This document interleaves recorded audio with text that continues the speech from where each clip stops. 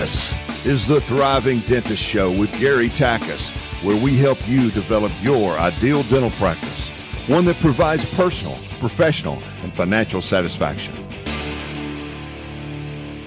Welcome to another edition of the Thriving Dentist Show. I'm Gary Takacs, your show host. Uh, very excited to have a longtime friend and one of my mentors on the show, Robert Hayman. Hey, Robert, how are you?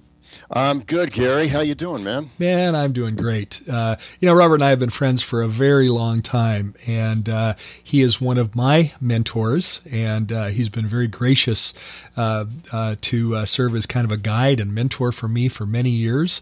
And I'm just super excited to have you on the show. Thanks. I'm so ha- I'm so happy to be here. I've heard a lot about it. Uh, Robert is in his office in Brentwood, California. I'm in my office in Scottsdale, Arizona. We're separated by about 500 miles, but uh, it'll seem as if we're literally sitting side by side uh, in the studio. Uh, and Robert, you won't need uh, an introduction to most of our listeners, um, but uh, just in case our listeners have been in a cave and they aren't familiar with who you are, may I may I start and share a little bit about your background, um, and and then would you would you keep me honest and make sure that I tell the truth? I don't know about that. or if you'd like to embellish it, you can embellish it as well. Uh, Robert and I came to know each other many years ago when uh, he and, and, Bill Dorfman uh, founded Discus Dental. And uh, I had the opportunity to, to work with you in a variety of different capacities for, for many years.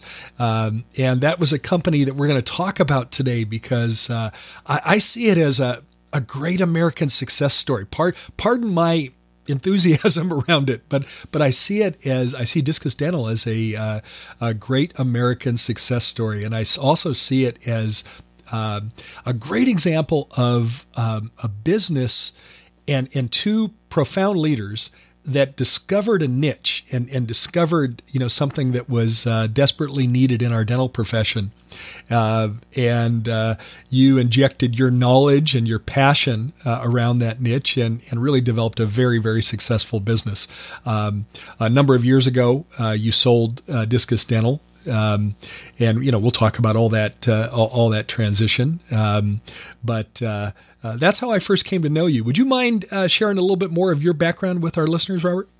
Yeah, I uh, you know I was raised here in Southern California, and uh, I I went to school back east at Boston U. I studied business. I worked for a family business for a period of time, a company that uh, is now owned, I believe, by Procter and Gamble. I forget who at this point. Giorgio Beverly Hills. Uh, it was a family business. I uh, I worked in the fragrance. Uh, I worked in the retail store for years on Rodeo Drive, and then uh, in the fragrance division for a while. And then that company got sold uh, in the late '80s. I started a, a, consulting company, and one of my clients was Bill and his partner, business partner, David Dossiter. Uh, and the rest is kind of history. We we got uh, very lucky, and we were very we are, we are still today very close friends. Uh, you know the brand, uh, uh, of course, Discus uh, Discus brought many products to, to dentistry, but the brand that it's probably we're probably most familiar with is Zoom Whitening, and um, you know you guys, if I think back to the very genesis of whitening, you know back in the late 80s, um, late 1980s. Whitening was um, kind of a, a, a funky product in the dental office. You know, it was kind of like um, goop and gel in sandwich baggies. okay, I think I, you hit the nail on the head. well, I, I might, I, I, might be. Slightly off with that, but that's how I see it. Oh, you know, whitening was was kind of like goop and gel and baggies, and uh, you know, you brought your amazing business knowledge and uh, your your experience with uh, your family business um, in terms of packaging and marketing. And uh, and then Bill brought his product knowledge in dentistry, and together the two of you, you're, you're such a great example of uh, two people with different backgrounds bringing your backgrounds together and the sum of the parts are, are, are greater than the individual parts, you know? it's absolutely true. I mean, I knew nothing about dentistry when, you know, Bill, we, Bill, Bill and I met actually at about, believe it or not, we went to the same gym, but we, believe it or not, met at a charity bachelor auction. And so from that, we became very close friends at the gym. And then uh, he, he shared with me his, his uh, desire to start a whitening company. And of course, I did have a background in, in cosmetics, fashion, uh, uh, high image marketing, if you will, and packaging. And Bill, of course, had a pretty good, it was a shared vision of the two of us in terms of what we wanted to do. Uh, it was a lot of fun. And, uh, you know, being great friends with somebody and working with them at the same time and being very compatible, not only as a friend, but also in business, is a very, very, uh, I don't know if it's unusual, but it's a very strong and wonderful uh, uh, time in both of our lives. You know, Robert, um, uh, so often um, we uh, hear about or we experience uh, partnerships that don't work. Um, and, you know, there, there there's even uh, you know, those that have been involved in in partnerships that haven't worked kind of have developed a very negative uh, perspective around partnerships, and and yet um, I'm in a strong partnership that has worked uh, with, with, Paul Nielsen, with my uh, dentist business partner, uh, yes. that works extremely well. you were in a partnership with with Bill, you know, that worked extremely well. And uh, you know, I'd like to sort of debunk the myth that that partnerships don't work.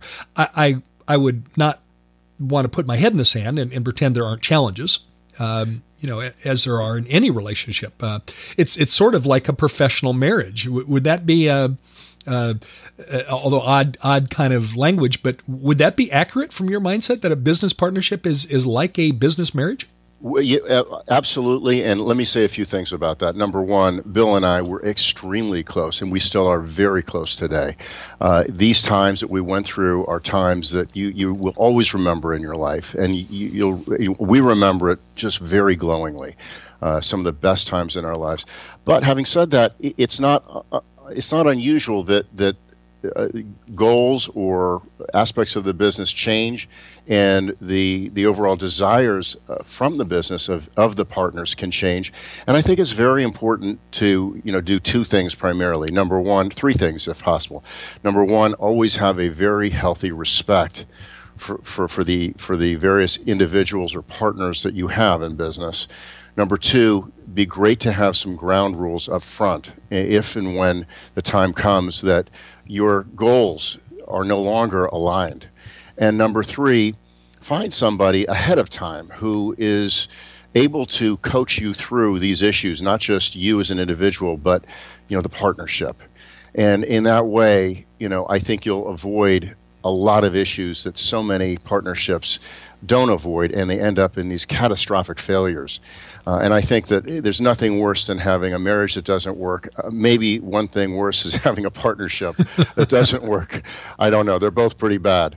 Um, but but I will say that you know when when things do change, uh, it's not that somebody's a bad person. It's just that they have a their their goals or your goals have changed, and that has to be realized. Right, right.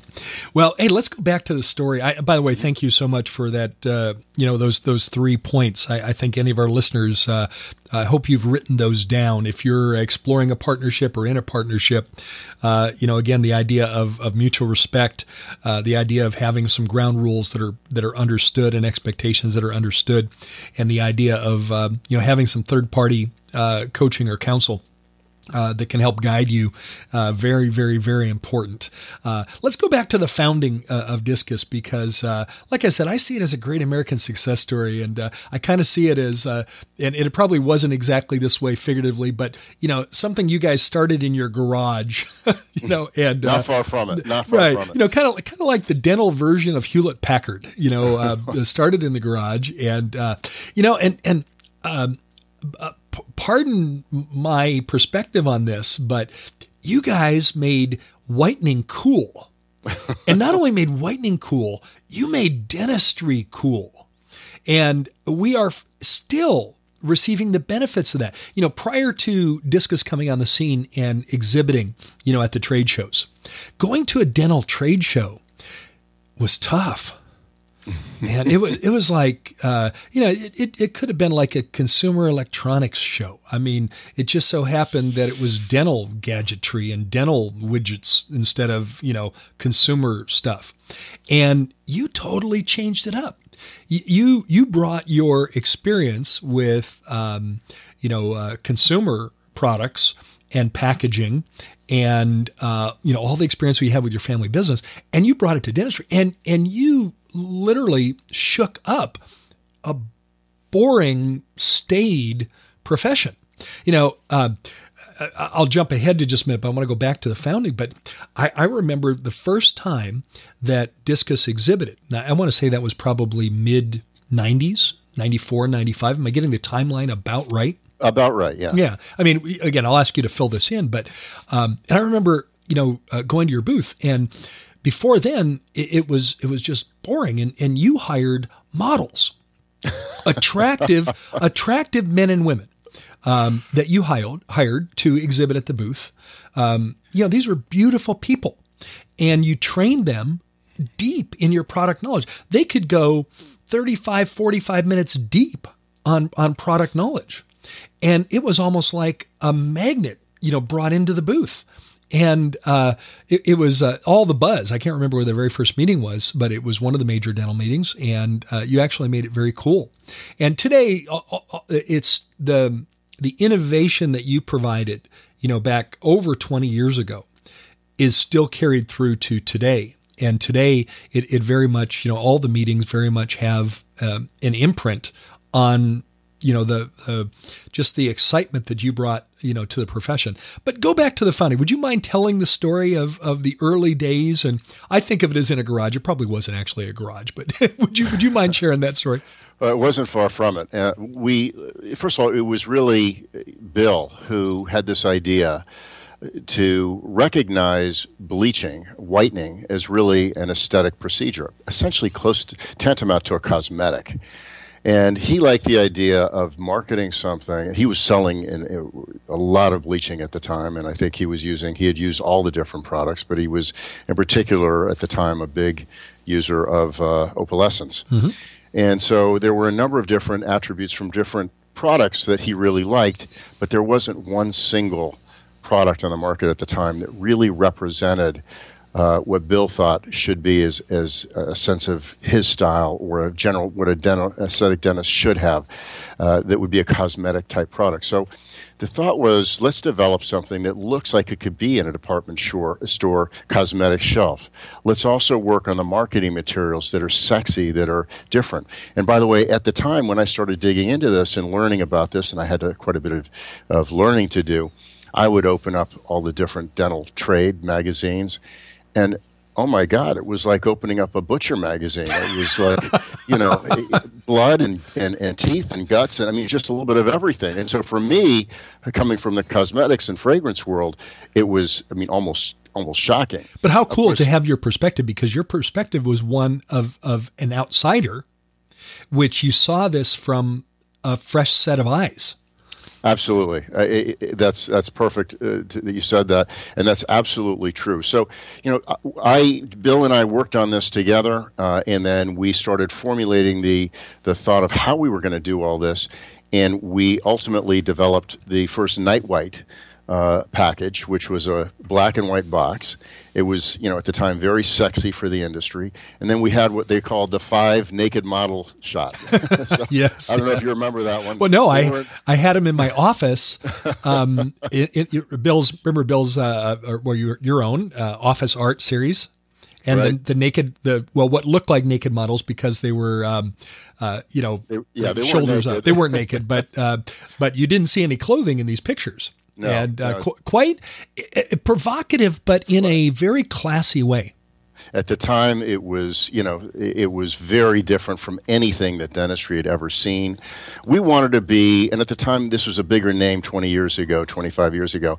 Uh, we wanted to be sort of the Calvin Klein of the of the mm. dental, upscale but sexy, a little bit steamy and uh, but, but but very approachable in, in, a certain degree. So we did that model shot, and you know we, we we started doing direct mail and advertising and we did go to the trade shows and i got to say we had a huge response uh, outsized, un- unanticipated, in fact, because by and large, it was an emotional response. Most people, you know, that we spoke to that came to the booth or we, we would get phone calls from absolutely loved it, identified with it, said, This is what dentistry needs. Now, by the way, we had a lot of, uh, uh, not customers, but we had a lot of dentists out there uh, and clinicians who would call us up and say, You know, this is just awful. Dentistry doesn't want something like this. This is we, unprofessional. Yeah, the, you're you're basically the Antichrist, and you should get out of the industry as quickly as possible. You're ruining the industry, Robert. But that's exactly true. So you know, but but, but emotion like that is good, and as long as they spell our name right, that's all we want. Because it, it's that kind of thing that gets purchases going and reorders going as it well. gets a conversation going. Absolutely. Now you mentioned our models, uh, our sales reps in the models. You, you know, the, the reality of that whole situation. It's kind of funny you know, we wanted in the very beginning. We couldn't, you know, we, we tried to go to the dealers. The dealers couldn't relate to the, the product or the concept or anything like that. Uh, we had one dealer who said that within six months we'd be crushed and out of business. Mm. Uh, I won't mention any names. Sure. Um, but but we we had very very few, uh, if any, uh, dealers that had had any. None of the big ones certainly. So we were kind of forced to go direct. so, so the decision go direct or go out of business. So the decision to go to direct, w- w- to go direct, was was not really um, based on your, you know, your decision to go direct. it was more that you didn't have the option of going through dealers. You know, I have a saying. Sometimes I'd rather be lucky than good. I think that's a perfect example right there. But yeah. you know, once we started wrapping our arms around it and analyzing it and, and getting a strategy around it, it actually became a masterstroke for us. It was very, very fortunate because by going direct, especially with a product like this, we had a direct in- interaction with guys like you. We could talk to you about, you know, where to put the marketing materials, how to use the marketing materials, answer questions for you, and you know, so it, we we we went direct, and of course, we needed to hire sales reps for the phones. Uh, we couldn't afford outside sales rep at the time because we had no money. Uh, so what we did is we we would hire. Uh, we couldn't afford the dental dogs, if you will, the sales reps who've been in right. the industry for years and years. So what we did is at the time we were kind of in a recession, and uh, there were all these young people who were looking for work, kids just right out of college, uh, 22, 23 years old, and so we hired them. And uh, you know, over a period of time, not too much time, it, it, just for whatever reason, the women seem to do better than the men. And so, you know, they were better over the phones, and I think that's not unusual in the telemarketing uh, sure. industry. Uh, and and so, over a period of time, we ended up with, you know, probably 80, 90 percent women as opposed to men. We did right. have men on the sales force, but by and large, they were all young because we, we couldn't afford people who had any experience. So we infused them with not only our training and our education, but more important, our culture right. and our culture is really where we where we knock the cover off the ball uh, so what you saw when you went to a trade show was you're right there were 22 23 24 25 year old girls who were very educated out of great schools and who had further gone through our training. And what was so great about that is they were really intelligent, highly trained individuals who became friends with so many of their dental offices. And when we go to a show like in Iowa, uh, and, and certain one of the reps would, would fly out and go to that Iowa show, it was almost like seeing family that they, they hadn't seen in a long time right. because they'd speak to them over the phone for such a long period of time. And it was it was really I think that really added a lot to the overall experience. Right. Now, um, uh, in the early days, this was very much a bootstrapped company. Is that is that correct? You know, from a uh, you know from a, a financing standpoint, and uh, I mean, you get you guys were like scrambling every week to make payroll. I'm sure. Am, am I uh, am I correct? The only, well, the only I'm going to correct you there. The only problem with that statement is I don't think we could afford the boots. we started this business, I kid you not, with forty thousand dollars in 1993, uh, and wow. uh, we grew it to just about almost 200 million dollars by the time we finally. Uh, wow. By 2007. Wow. So, you know, I want you. So, as a listener, get your arms around that. Bill and Robert started this with forty thousand dollars, and uh, I mean, not that forty thousand dollars is chump change, but in a business sense, it is. no, it's very much chump change today. you know, it's uh, it, that really is like you know the bankers are going to say, "Oh, silly Robert, you can't do this. you you can't do this," uh, and it it developed it to almost two hundred million dollars in sales almost two hundred million dollars in sales. Um, we never had a capital infusion. Not, uh, no, no, it was uh, uh, you know self funded along the way, and uh, you know I want to talk about something that you and Bill. Um, I give you great credit for, and and you mentioned it a minute ago, and that is the culture that you created in the business. And I used to love coming to your offices because um, uh, I, I would come in, and the culture was tangible it was it was something that you could feel when you were in the office, um, and it was it was a tribute to your leadership. Uh, I, I, you'll probably remember this, Robert, but uh, uh, your marketing team had asked me to come in one time to film some videos. I was filming videos for uh, for Discus on on how to grow your whitening business. I'm I'm, I'm passionate about whitening, uh, whitening, and I learned it from you. Whitening is a gateway, and uh, you know you help people have whiter teeth and they become better patients. Um, they become more interested in their mouth. They, you know, you whiten their teeth. And the next thing you know, six months later, when we see them, you know, they turn to the doctor and say, "Doc, I love the color of my teeth now, but what about this? What about that? What about this?" And they're just way more engaged, and it's just such a cool product slash service, and they feel better about themselves. Just awesome. So, pardon my enthusiasm around this, but uh, uh, you, your marketing department hired me to come in and film some videos. And we were looking for a place to shoot the, the videos. And we, we tried some different spots in, in your office and we couldn't quite get the lighting right. And then um, you were out of your office, your own, your own private office. And we stumbled into your office and I said, well, here's where we're going to shoot it. and you came back from, from the break and uh, what are you guys doing? They said, well, we're going to shoot the video here. And you said, great, I'll go work down the hall. you vacated your office. Uh, I think I had it for a couple hours. I hope I didn't interrupt your workflow that day, but that was the kind of leadership that you had. And that was the kind of um, uh, you know model and ex- example that you provided. Can you talk a little bit about the culture of Discus and what you see as keys? And let's bring this to the practice level. What can our our doctors that are trying to create a positive culture in their practice take away from your experience with Discus? Well, first of all, I'll, I'll, I'll, gladly talk about discus, but I will tell you, even today, I see culture as probably the number one most important uh, aspect of a uh, of a business, whether it's a practice or whether it's a, a large company. Uh, the culture sort of decides uh, everything that, that's going to in, indicates everything that's going to happen in that business. Uh, we had a culture, and I, today we still do uh, in the companies I'm involved with you know, high energy, great attitude, smart, passionately engaged, ethical. Um, humor is a big part of all the cu- cultures that I've been involved with. Um, but at the end of the day, people want to be inspired and they want to be self-inspired and i think that people want to be because they, they get motivated and they get passionate about things and you you one of the most important things that I've learned it, this is for me and I don't know if it works for everybody else but it seems to every person who you have on your team has got to fit that culture that you want to have.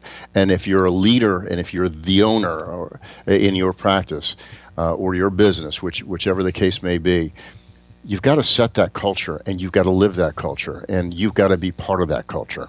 Uh, and I think that what we did it was it was so pure and because it was so honest. It's really who we were. We loved what we were doing. People could tell. We enjoyed what we were doing. We were irreverent. We were uh, we were humorous. Uh, we, we we had a lot of you know joking around. Um, it was a very uh, uh young at heart environment uh, and, and, all those things were somewhat intoxicating. And people would come in, and you know they they just wanted to be there and wanted to work there. We you know of course just like any other company, we sometimes you know said goodbye to people whether they left or or, or we helped broaden their horizons. Um, and, one of the I like stories, the way you said that. one of the one of the stories I heard one time from a wonderful girl who worked for me, and she worked in our marketing department. Uh, she says, you know, I went to go interview with this one company uh, back east, and they said, so so what is it about discus? What is it that, that like it, they're so special. There's so much stuff going on there. It's just, what is it about the environment that, that really causes this sort of all to bubble up? And she turns to him, she dead, deadpan looks at them, and she says, well, about one o'clock in the afternoon, just after lunch, they hand out these little blue pills. oh, that's great. Obviously not true, but I thought that was perfect example of our humor, though. I mean, she, yeah, oh, she yeah. deadpan them. And they, she they, got they it. Were, dropped down on the floor. She says, I'm just kidding. kidding, kidding, kidding, kidding. no, your culture was quite amazing. Um, Right. Like I said, it was pal- palatable. You could feel it when you walked in your building. You Well, could it- feel it. and it is today. I mean, it, w- w- with what we do today in, in the companies that, that we're involved with, when we bring on a new uh, associate, uh, we make sure that that person fits our culture. Because as great as a culture can be, it can also be poisonous. And what makes it poisonous are the individuals. And it's not the rules that you set. It's not the. It's the individuals that make up the the culture. And people will adapt to a culture if they're the right fit. But if they're not the right fit, they become poison. And this is my experience. It's my opinion. Other people may have different opinions. I don't mean to preach to anybody. I'm just sharing with you what my experience is. And uh, you know, to me, that is the number one most important thing. We have you know, in, in a recent hire, very important hire, uh, we've been looking for the past three or four months. We've met numerous individuals who absolutely have the pedigree and fit the job perfectly. But for whatever reason, we have not found the correct individual that really fits our culture. Now, we, I think we have, and we're, we've made a job offer. But um, the bottom line is, I, I, I can't speak enough about culture because that is basically the fabric of- that holds the business together. I want to circle back to something you said. You said that um, it's your opinion that to, to fully achieve your potential as as a business, every person must fit your culture. I want to talk about the scope and the scale of this for just a minute, so our listeners can understand. How large was your head count uh, at its largest in, in terms of employees at, at Discus?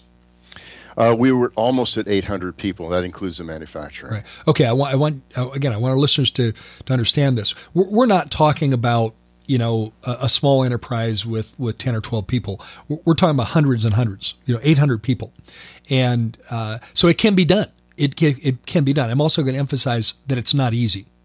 Would you Would you agree with that? No, it's not. But you know, honestly, with with us, the whole culture, you know, the the, the everything that, that that was in our part of our culture was us. It was us, how we were anyway. Uh, and and that made it a lot easier. I mean, we we didn't really have to work too hard. All we did though is it became infectious and it became almost viral in a sense, and that's what worked so well. Again, remember, I'd rather be lucky than good. I think we lucked out in that aspect because you know Bill's an incredible guy. He's got a hell of a lot of energy, uh, great storyteller in his own right.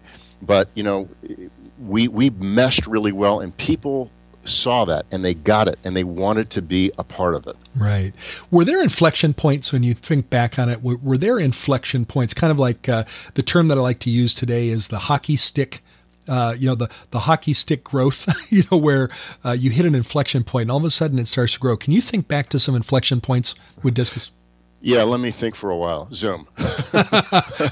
Okay. Zoom Zoom was an inflection point, and what really happened was it was a soul searching. Uh, we had gone through some tremendous growth in in the early years of Discus, and then you know uh, probably around uh, 1999 or so, 2000, uh, we had a number of things that suddenly started hitting us, and we we first of all, we were focusing on building the rest of the brands in the company because we didn't want to be so reliant on one product. So we were focused Mm-hmm. You on to have some diversity. materials, aesthetics, diversity. But and so we weren't spending enough time on the whitening. And I, I went to a seminar and I became very friendly with this guy afterwards uh, at Bain and Company. Uh, and he it was like he was talking directly. Many people, but it's like he was talking directly to me. Don't turn your back on your core competency. And our core competency was whitening. So I went back to the office and I just immediately changed the the overall uh, uh, uh, forward-leading se- uh, stru- structure of the company to focus right back on whitening. At the time, we had BriteSmile that had just come out. It was stealing a lot of our A accounts. Sure. We had Whitestrips that was you know uh, coming out and and was a good whitener for the first time ever, and by Procter and Gamble, not just Procter and Gamble, but Crest. Can you think of a more trusted name? And, and so- spending and, and Crest, uh, you know, Procter and Oh, Gamble spending $100 million. 100, $100 million on consumer heavy a- sampling, advertising. Yeah, they were in every dental office, and so our whitening business literally fell off huge uh, that year.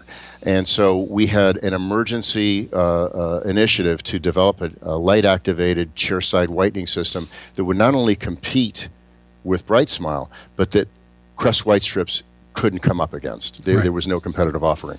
And so we, we had a crash program. We developed Zoom. It was in a year. But we were not only innovative, what we, we were inspired by what, we, by what we had to do. Failure simply was not an option. And so we made it happen by hook or by crook. There's no crook about it. But the reality is, Zoom launched. And in the first month, we, you know, we, we sold about, you know, I think a thousand of those lamps systems, and and then about, you know, three months later, we were the number one light activated. In just three months, we were the number one light activated bleaching system uh, in the U.S. and around the globe. And within about uh, a year or two, uh, we were uh, 90 plus percent of the global uh, white uh, take light activated light activated chairside whitening market. So that that was a really big hockey stick. That was an inflection, uh, Yeah. a hockey hockey stick inflection point for sure. Exactly. Uh, For for younger listeners that might not remember this, uh, I'll, I'll bring it back. Um, uh, but it shows the power of synergy between uh, Robert and Bill. Um, there was a, a television show called Extreme Makeover, and uh, Bill was. Uh, uh, invited to be the dentist on the Extreme Makeover show. And what the premise of the show was is that they would um, provide uh, uh, makeovers uh, that might involve plastic surgery, it might involve dentistry, it might involve hair and makeup, uh, fashion advice, and, and literally transform someone. Um, and uh, in, in, in, under the title Extreme Makeover, and Bill was the dentist. And uh, of course, whitening was often uh, one of the, the features that was done on those extreme makeover cases, and you got a tremendous amount of media coverage through that. I'm so glad you brought that up because I think you know if I was going to say the next phase of, of of Zoom that really catapulted it was the fact that Bill was on Extreme Makeover and you know the whitening was a part of every restorative procedure, uh, and, and just got to be known as a household name. Uh, and so, and then Bill, I think, just did an incredible job in terms of shepherding the story and being a great figurehead, uh, just in general. Yeah, Uh, yeah. You're right. It absolutely did have a great effect on us. You know, one of the other things uh, coming back to uh, culture and and leadership that I want to recognize is that um, I see two qualities of of you and Bill that I saw from the outside, and and one was transparency that it was completely transparent. You you didn't have to guess what Robert was thinking. I didn't have to guess what Bill was thinking. It was, you were very transparent. I see that as a, a virtuous quality in a leader.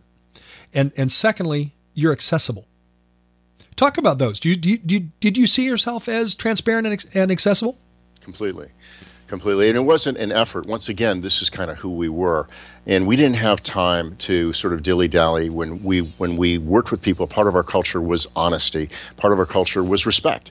So what we did is we we would say if if if you know bill would come to me with an idea i don't care if it was in a group of 15 people we would talk about the idea and i'd say this is what i like about it but this is what i don't like about it I was respectful. He was respectful, and, and we had no. We didn't have to be wishy washy. Well, I kind of like it.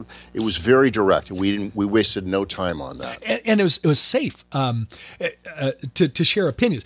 May I share a Discus story with you that you may not be familiar with? Uh oh. It's actually an amusing story. Okay. I want to say it was about 2004. Uh, 2003, 4, something like that. And Bill came to me and he said, Hey, Gary, I've got an idea. He said, uh, This is coming for the Greater New York show, you know, the show that starts after Thanksgiving every year in, in Manhattan. And he said, uh, I've got this idea. I want to set up our booth so it has an end cap, like a teaching theater. And I want you to teach, you know, these maybe these 10 minute um, lessons on how to grow your whitening business. And we'll set it up so it's like a mini theater. Maybe we could seat 15, 18 people there. And maybe you'll do this four or five times a day. And uh, I said, no, okay. So let me let me repeat back what you'd like. You're going to set up an end cap, and I'm going to be the speaker, and you're going to have 15, 18 people. And I said, no, I'm not doing that. That sounds like the guy at the like country fair selling Ginsu knives. You know, nah, uh, Bill, I don't, I don't, want, I don't want to do that. And he he looked at me, he goes, oh God, that sucks. He goes, um, I wouldn't do that either. Because I don't know what I was thinking. That, no, I wouldn't do that. He goes, let me put my thinking cap on. I'll come up with something better. I said, okay. So the next day he calls me. He goes, I got it. I got it. I got it. You know that thing we're talking? Forget it. Forget. Forget that. Here's what we're going to do. We're going to set up a lounge with red velvet ropes. It's going to be the Zoom lounge. It's going to have red velvet ropes. Uh, it's going to be set up inside, a little bit mysterious, inside the booth. Um, we're going to hire models, and these are the models that um, work the auto shows, like you know Miss BMW, Miss Porsche, Miss Jaguar, and and they are going to um, you know, invite our guests into the lounge. We're going to have some really cool lounge music. Uh, and this was at a time when the flat screen uh, TVs, the plasma TVs, had just come out.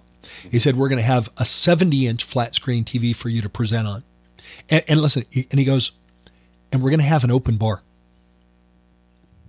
at, at, the, at the Greater New York meeting. You had me a bar. A bar. and, and, and I said, How are you going to do that? He goes, I don't know. We'll figure it out. Um, and I said, I could do that. And you'll be in, inside the lounge presenting.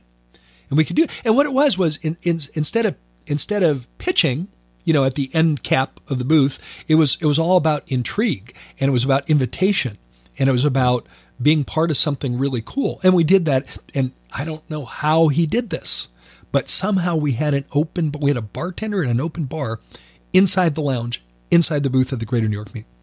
I hope there's no Greater New York executives listening to this. That was uh, 0405.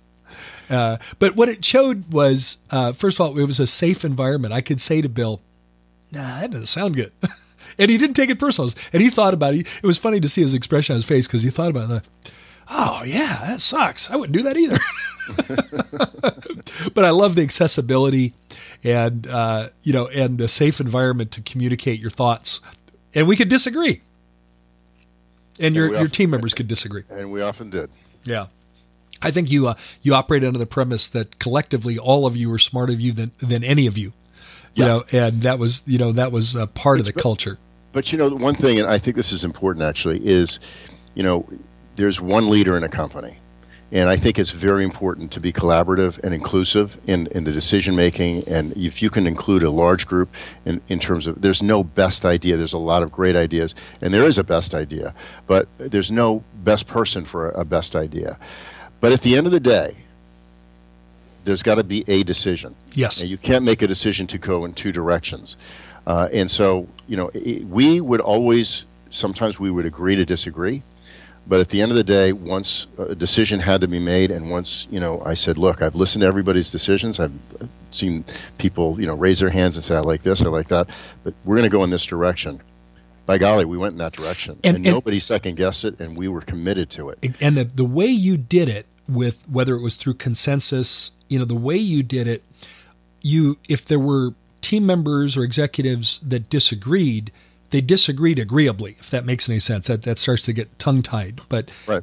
and, and it was like I may have had a different vote, you know, as an executive, but when you, you came down with that decision and said this is the way we're going, everyone just just jumped in and, well, and I think it was because of respect. It was I was respected no, because, because, everyone had their, their, their thoughts recognized, their opinions recognized, and and deliberated over, and it wasn't like we weren't listening. Yeah, you know, uh, one more chapter, and then I want yeah. to talk a little bit more about entrepreneurship. But sure. um, one of the other things that you did that I thought. Uh, you know, was was one of the coolest things that's ever happened in dentistry was your uh, Las Vegas uh, Discus extravaganza, um, and that was a, a, a two and a half day um, uh, conference in Vegas every year around um, around Memorial Day, uh, and it was the, the, Friday, Saturday, and Sunday morning around Memorial Day weekend, and that was phenomenal. And, and what you brought in terms of uh, celebrity speakers and excitement, those rooms were incredible. Um, and I, I, I, look at that as something that uh, was another element of the history of Discus that was really fun. Thank you. Yeah, it was it was really something, in my opinion, that was different at the time that we did it, and just very, very special.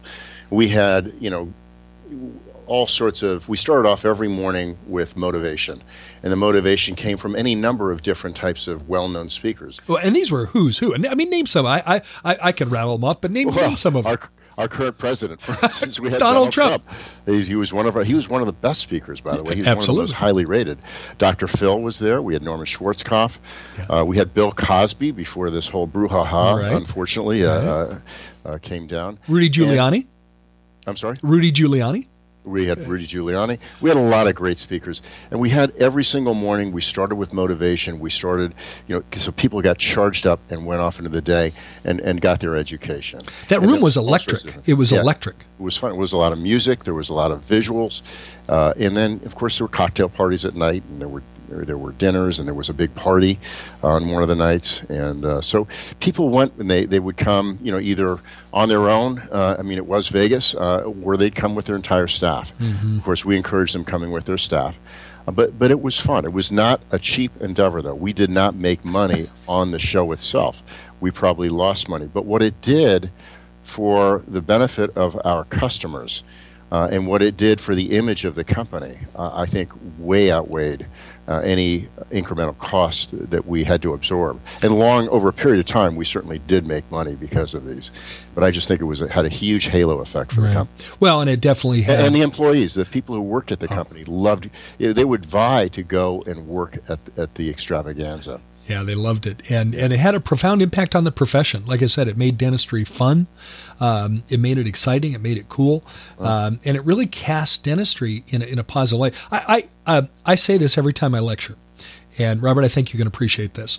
I always bring up Bill, and I and you know, of course, all the audience you know still knows Bill, and, and you know he's on the doctors today, and and he has quite a high profile. And I said, Sure. if you ever happen to see uh, Bill, you know, at a meeting or whatever, run up and give him a hug because we all owe him a tremendous uh, uh, gratitude for the way he has made dentistry positive in the eyes of of um, of the public. And you've done the same, Robert. You you made dentistry uh, exciting in the eyes of the public, and uh, we all are benefiting. We're, we're still riding those coattails today. Well, thank you very much. I think uh, I was certainly a contributor. I was more the man behind the curtain, if you will. well, yes, but uh, you brought tremendous wisdom to that. Hey, let's sw- switch gears and talk about some of that wisdom. Sure. If if our listeners, and we have a wide cross section, we have listeners that are are you know literally starting their career in dental school. They're, they're, they're, dental students. And on the other end of the spectrum, uh, the other day I received an email from an 84 year old listener. Doesn't that, isn't that cool, Robert? That, that kind of defies the stereotype of who listens to podcasts, right?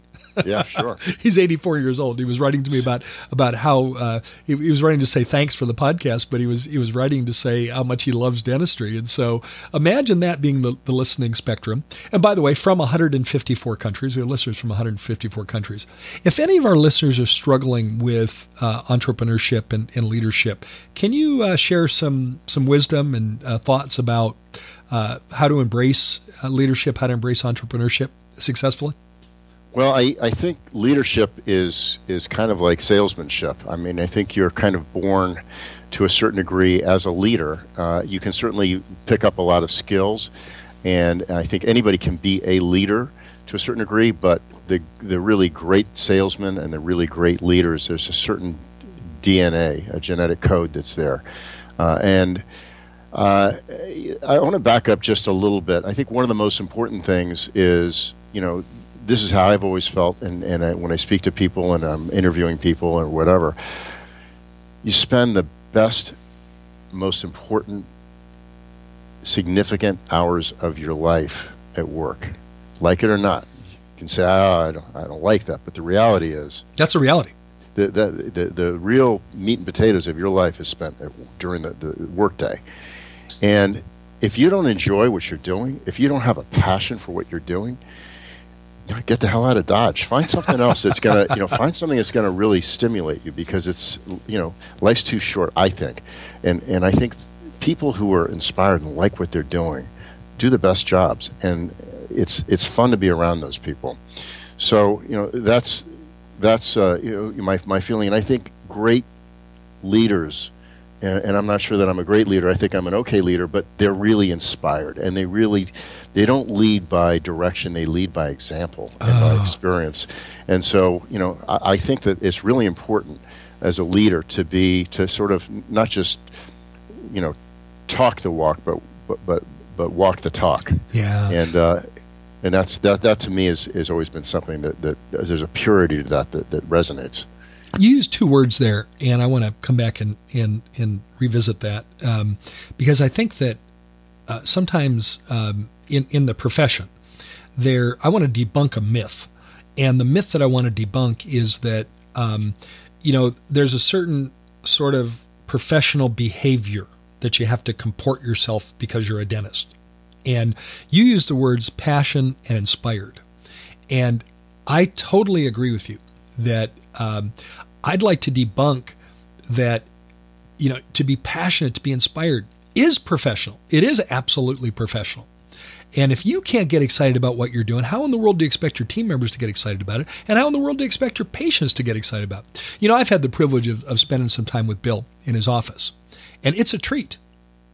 It is an absolute treat.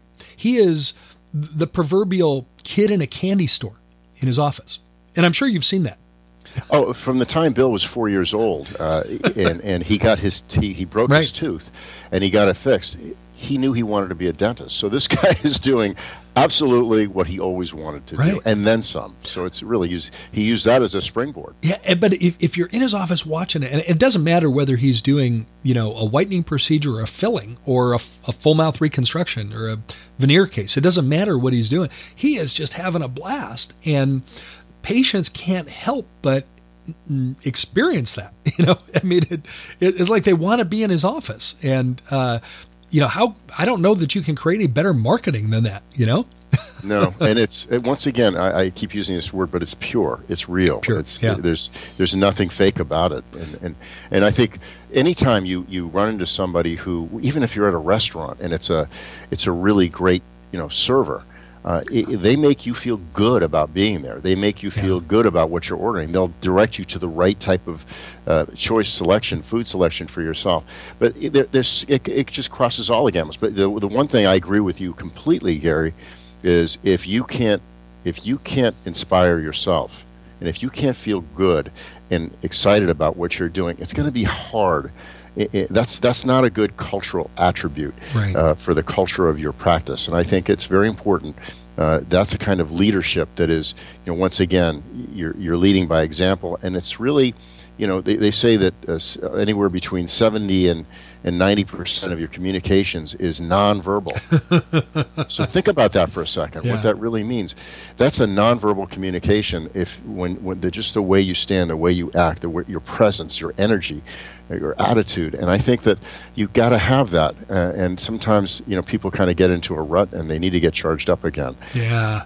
Oh, thank you. Thank you for helping me debunk that myth. Uh, thanks for uh, being such a great example of that in your own business. Uh, what are you up to these days, Robert? Share with uh, share with our listeners what's exciting in your world these days. Well, I tried retiring. Uh, Yeah, how'd that work out? About a day, two. and so uh, my wife kicked me out of the house. She didn't want me at the house anymore. Yeah, it's funny how that works out. Huh? yeah, saved my marriage by, by going back to work.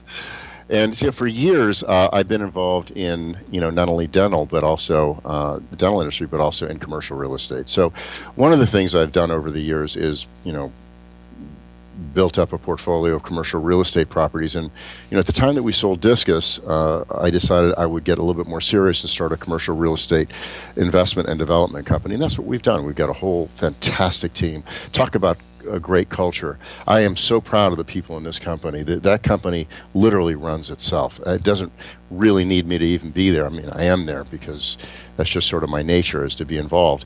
But this this company could not be uh, uh, any better. It's terrific. And you've done some cool things with uh, some properties, uh, some signature properties that uh, you have developed with incredible uh, flavor and uh, uh, excitement. Uh, I know a lot about them because I, you know, follow you and I know what you're doing. But you, you've done some really cool things with some some properties that uh, were worthy of saving. Yeah, we have a you know we what we do generally is we we're very innovative by nature and very creative. Uh, but we also formulate a strategy, and a strategy not only for the company, but it trickles down to each property, depending on what asset type it is.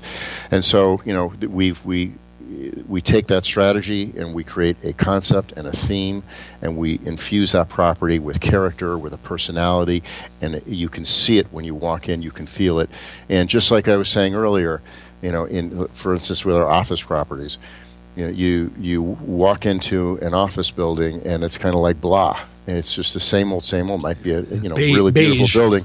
yeah, it might be a v- very beautiful building, but it's it's nondescript, and you don't feel anything when you walk in there. I want people in these properties when they, you know, that feeling you get when after a long day you walk in your front door and it's like ah, I'm home. Why can't you feel just a little bit of that when you walk into your office every day? Why can't you feel a little bit special?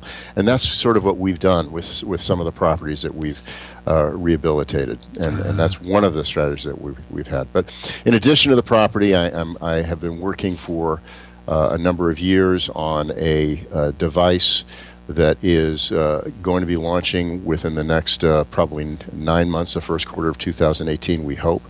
Uh, and uh, it's a product called, it's a device called uh, uh, Intelligent Diagnostics, or ID for short.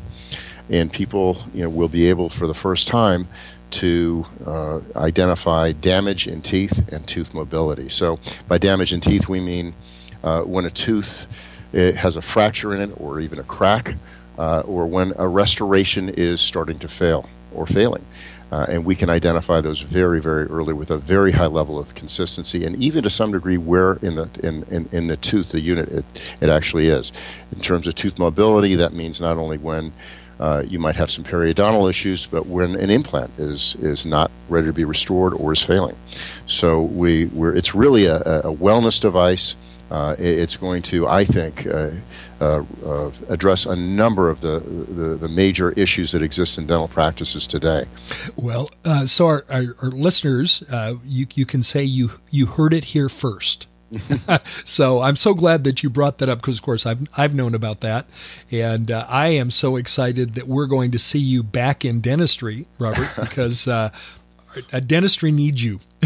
we, our profession, Well, need- our profession needs Well, I you. have a I have a wonderful partner, uh, and many many of your listeners may know her. She's uh, Dr. Cherilyn Sheets. Cherilyn Sheets is is a treasure. Uh, Yeah, I've had the privilege of serving with Cherilyn in uh, a number of uh, charitable causes, and um, she is an absolute treasure.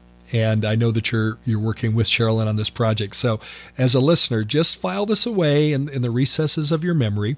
Uh, Intelligent Diagnostics ID um, and just be watching and, and maybe watch this space. Maybe we'll have you back, Robert, and uh, and we'll love to. talk talk more about that. But uh, hey, I want to take a minute and and just thank you. Uh, Robert, you've been a tremendous influence in my life um, in in many ways. Um, I, I look um I look to leaders and look to mentors that are are doing uh, cool things with integrity and uh, and really kind of shaking things up and doing some things unconventionally. And, and and you have absolutely done that. And you've been a wonderful mentor. You've been a wonderful friend. I can, I know that I can contact you. Uh, at any time, you, you've always been accessible to me. You've always been um, uh, a confidant, an advisor, um, and a, a, a listening set of ears at times. Um, and I, I just want to say thanks. You've uh, made a massive impact on my life, and I'm I'm better off for knowing you. Well, thank you, Gary, and I feel the same way. And uh, you know, thank you so much for having me on your podcast here.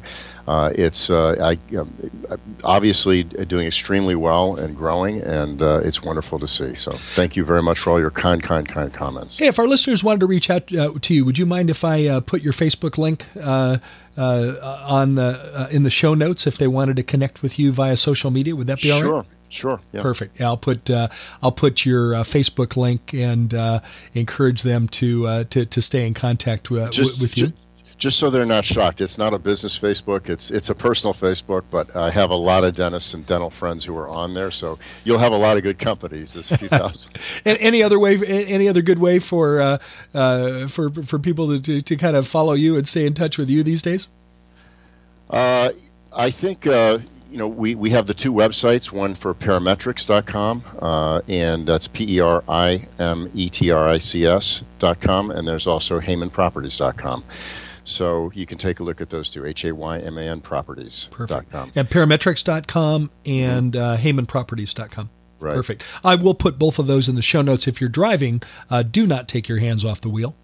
we, we, want to advocate safe driving. So I'm going to put those in the show notes. But uh, again, perimetrics.com and HaymanProperties.com. I'll put both of those and kind of peek under the tent, see what Robert's up to. And uh, uh, I, I, think you'll you'll be uh, uh, fascinated uh, and impressed as well. So uh, again, Robert, thank, thank you so much. Thanks for thank all that you. you. do. Thanks for the the passion uh, and wisdom that you bring to your businesses. And hey, you, you make you you've made dentistry a better profession. You make the world a better place. So so thanks. Um, oh, Gary, thank yeah. you very much. And on that note, I also want to thank our listeners. You know, we love what we do here at the Thriving Dentist Show, but couldn't do it without you. really appreciate you. There's three things you can do to support the show. Uh, number one, you can tell a colleague about the podcast. You know, many dentists have never heard the word podcast. Uh, help enlighten them and tell them about podcasts and tell them about the Thriving Dentist Show in particular. The second thing that you can do is you can write us a review. You can jump on iTunes and write us a review. By doing so, it works the same way that like a Google review works for your practice. Helps more more people find us. And then the third thing that you can do is you can hit the subscribe button. You can do that on, on iTunes. You can do that on Google Play, uh, Stitcher Radio, whatever your direct podcast directory of choices. Hit subscribe. That means that every Wednesday when we upload a new show, it'll automatically be uploaded uh, for your listening convenience. On that note, uh, I'll look forward to connecting with you on the next Thriving Dentist Show. When you cry, be sure dry your eyes. Cause better days are sure to come. And when you smile, be sure to smile wide. And don't let them know that they have won. And when you walk, walk with pride. Don't show the hurt inside, because the pain will soon be gone. When you dream, dream big, as big as the ocean blue. When you dream, it might come true. When you dream, dream big.